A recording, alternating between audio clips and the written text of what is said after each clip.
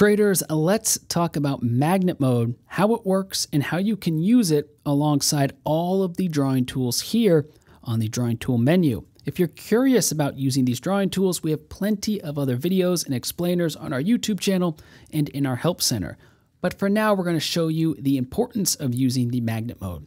So at this point in time, we are looking at a chart of the gold ETF GLD. And one thing we observe in this video is that there is a topping price here and a topping price here on these wicks. And if you were to draw a trend line here between these two points, you would observe that there is a downtrend since this high. So we're drawing a freehand trend line, meaning we don't have magnet mode turned on. This is our trend line however we see fit. See the way we move our mouse. And what we would do is select the trendline tool, find the starting point here and click best of our guess then find the top here and click best of our guess. And now we have drawn a trend line with these two wicks in mind guiding the way. Now that was a free hand trend line, which is very popular. Traders are artists just as, as, as much as they are scientists or thinkers. And in this regard, it's there's nothing wrong with that because everyone has their own style of trading and investing. But if you wanted to draw a trend line that perfectly connects these two points, the high of this wick and the high of this wick, there is a way to do that with magnet mode. So we're going to delete this trend line and watch what happens. We're going to walk you through strong magnet first. So we select strong magnet. It's now highlighted blue, so you can see here it's been selected. If we hover our mouse over magnet mode, it says magnet mode snaps drawings placed near price bars to the closest OHLC value. OHLC stands for open, high, low, close. And on these candles, you can see the open, high, low, close. And it's a data point that is often included in many different symbols. So we have magnet mode selected and we click our trend line. Watch the difference now, how our mouse is moving. Everywhere we move our mouse, it is automatically snapping to the nearest OHLC value, or open, high, lower, close value on the chart. So in this case, we're going to move our mouse until we're perfectly connected on this value. Look, if we move our mouse around, it's still magnetized to that open, high, low, close. So it's stuck there. We've got it identified. Now we click, and the trend line has been placed. And now what we can do is move our trend line until we find the exact perfect point here and click again. And now we have just drawn a trend line that quite literally is connected to the tops of these wicks using magnet mode. So now you can see the difference between drawing a freehand trend line and a magnet mode trend line. One is freehand, perfectly useful for any type of trader and investor, your style, your strategy, but the other gives you the capability to make sure it's connected to two exact points on the chart. Now the difference between the strong magnet and the weak magnet is really going to come down to you. It's how aggressive do you want the magnet to be on your chart. So what we mean by that is pay attention to how our mouse is sort of moving around, but it's not it's not connecting quite as quickly or or it's not as strong of a pull. And that's because it is all about sensitivity. If you want the absolute strongest pull to the nearest open high low close value, use the strong magnet. And now you can just see the difference in our mouse movements where it's just connecting, snapping, getting magnetized. Whereas if you have the weak magnet, there's a little more freehand drawing here still left.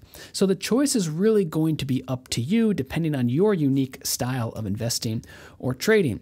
For now, though, we are going to keep the strong magnet on and just show you one more example because all of these tools here can be utilized with magnet mode. Here is a great example to walk you through once again.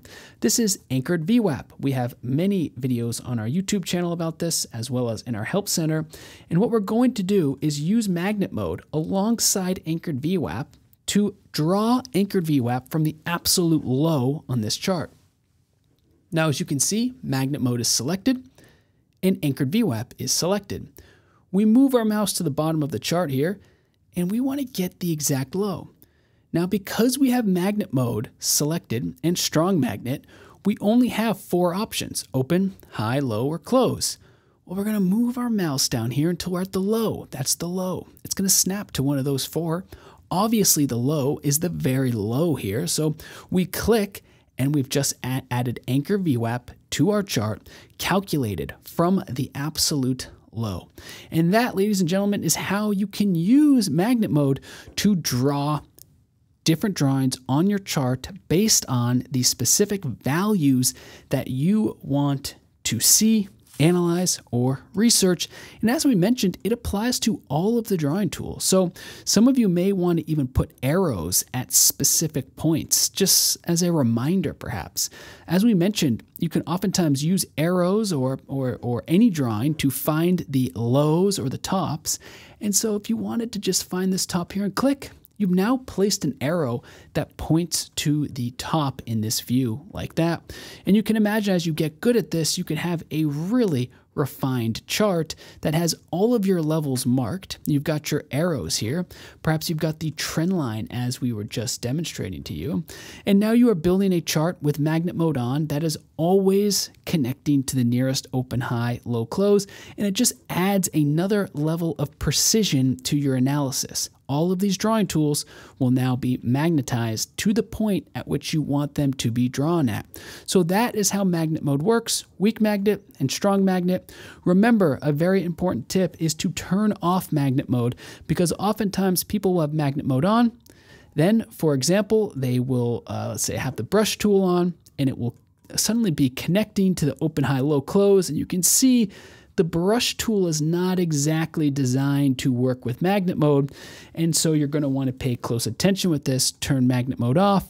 We've got the brush tool selected, and now check it out. We have our free hand back. We can draw freely on our chart. So that is one more important tip about this tool. It's always remembering whether you have it on or off, and that is how magnet mode can also benefit you and your drawings. And keep in mind, this was just one example. We showed you trend lines and we showed you anchored VWAP, but all of these drawing tools can be used alongside magnet mode. In fact, using the price range tool with magnet mode is a powerful tool to make sure that you are getting the most precise and accurate price changes on the chart because now we've drawn this price change from the absolute low to the absolute high within this region here.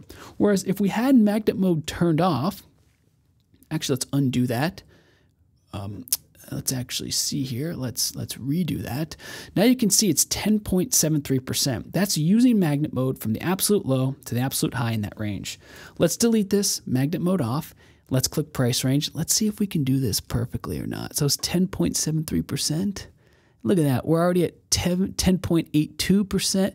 So the point being is it's just not going to be as accurate. If you want to get the exact move in percentage terms or price terms, you're going to want magnet mode on so that you know you're measuring from the connected low to the next connected point in time. So ladies and gentlemen, thanks so much for watching. We hope this video gets you started with magnet mode and that you learned something